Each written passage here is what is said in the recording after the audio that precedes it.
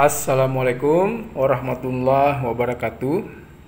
Jumpa lagi dengan video Bengkel Logika. Kali ini kita coba bahas tentang Bluetooth speaker dengan amplifiernya.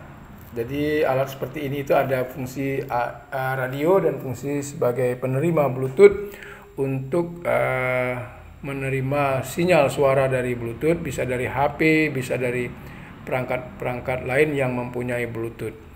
Nah, problem dari Bluetooth ini adalah ketika baterainya soak, maka uh, Bluetooth tidak mau melakukan start on. Nah, itu karena V referensi tegangannya sudah kurang. Walaupun kita pasang charge, maka uh, problemnya adalah tetap tidak mau on Nah, setelah kita melihat komponen-komponen yang kecil, nah kebetulan di sini uh, bisa saja ada komponen yang sudah rusak, tetapi seperti misalnya uh, soket uh, soket uh, seperti soket cas HP-nya untuk mengecas baterai di sini. Setelah kita solder ulang, tetapi karena di sini hanya untuk kita pakai sendiri, yang penting hidup. Maka langkahnya adalah saya beri langsung referensinya dengan memakai chargingnya handphone lalu saya hubungkan ke baterainya. Hasilnya adalah uh, Bluetooth ini bisa menyala kembali.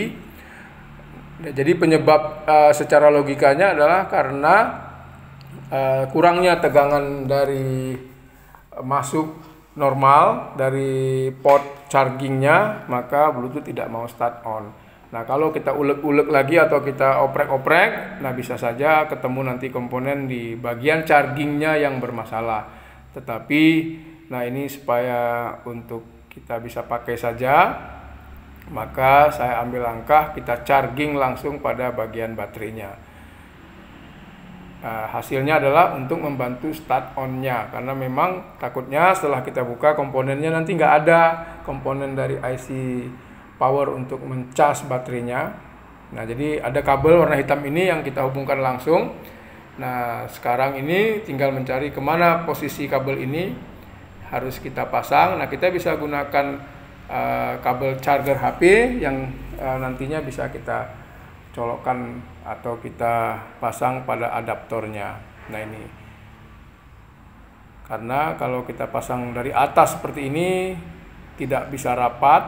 Nah tapi model pasang begini bisa Anda pikirkan, Anda logikakan bagaimana caranya supaya bisa terpasang rapi kembali.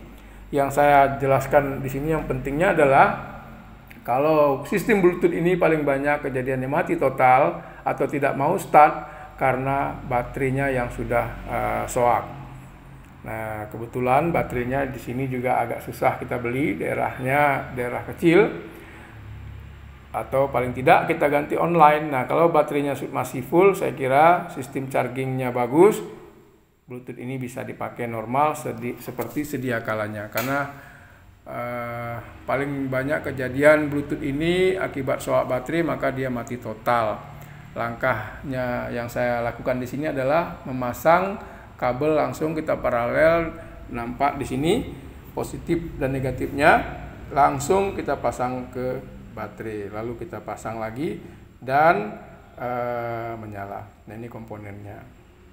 Yang paling penting di sini waktu kita pasang e, chargingnya ini kita coba e, pegang IC penguatnya IC transmitternya yang mudah-mudahan tidak panas karena ada Bluetooth yang lain itu ketika kita pasang langsung dengan 5 volt uh, eh, IC-nya itu panas maka butuh tegangan yang lebih kecil.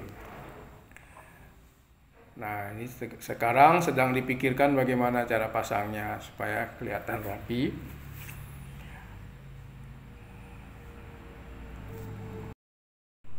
Di sini saya tidak bisa menampilkan suaranya karena uh, takut ada klaim hak cipta, tapi model begini sudah bisa menyala kembali Bluetoothnya, sudah bisa berfungsi tombol-tombolnya semua.